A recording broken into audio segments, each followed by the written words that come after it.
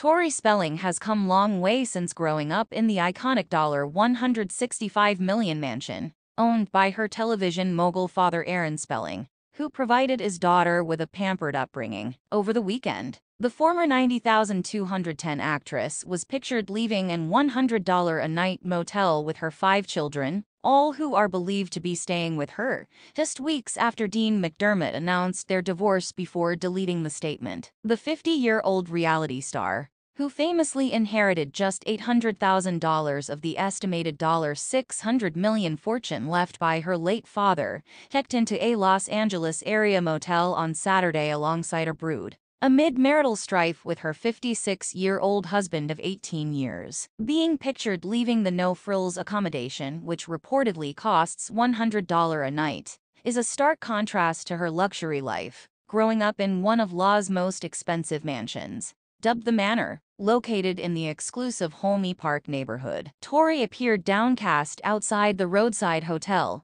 as she was accompanied by her five children, whom she shares with estranged husband Dean. 16-year-old Liam, 15-year-old Stella, 11-year-old Hattie, 10-year-old Finn, and 6-year-old Beau. Regardless of the circumstances, Tori looked in great shape as she showcased her ripped abs in a black crop t-shirt. With navy blue trousers and baby blue and white Nike Dunk Low sneakers. She accessorized with a beaded necklace while carrying around a beige tote bag. Her signature blonde tresses were worn down in a middle part, as she wore minimal makeup topped off with shiny lip. While at the actual motel, she would be seen rocking an oversized Kiss graphic t-shirt with tiny shorts. It has been a rough living situation for Tori and her children, as back in May, she revealed that the family were forced to move out of their home due to a mold problem which she said was slowly killing us for the years. She grew up living quite a different life, as she lived in a massive 56.5k square foot French chateau-style mansion.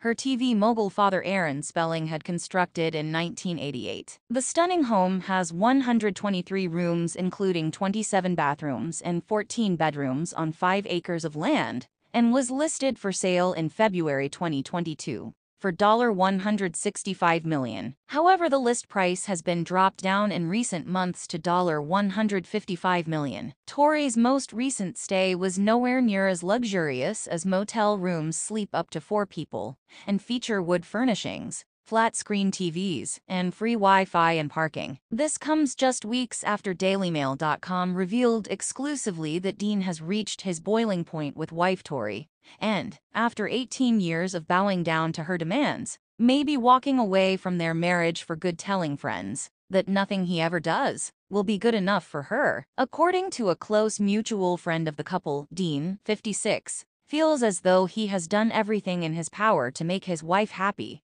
but believes that his efforts have not been reciprocated in any way. Dean has changed and worked very hard to be the husband she needed him to be, but she is still demanding and entitled. Nothing he does or has done will ever be good enough for her, the insider told DailyMail.com exclusively. Canadian actor Dean first hinted that his troubled marriage may be headed for the end on June 16, when he claimed on Instagram, that he and Tori had split in a post that was quickly deleted. Tori and Dean, who tied the knot in 2006, have never had the easiest marriage, with every aspect of the roller coaster romance played out in a very bitter and public way, something that the source says has taken a serious toll on the actor. For a very long time Tori used their marital problems to stay relevant the source said. Everyone knew about their issues, and she didn't play it down. She played it even going so far to go outside, where she knew paparazzi were waiting holding papers that were a clear indication of a divorce. This really took a toll on Dean. Behind the scenes, the insider claims that the couple have been struggling with financial issues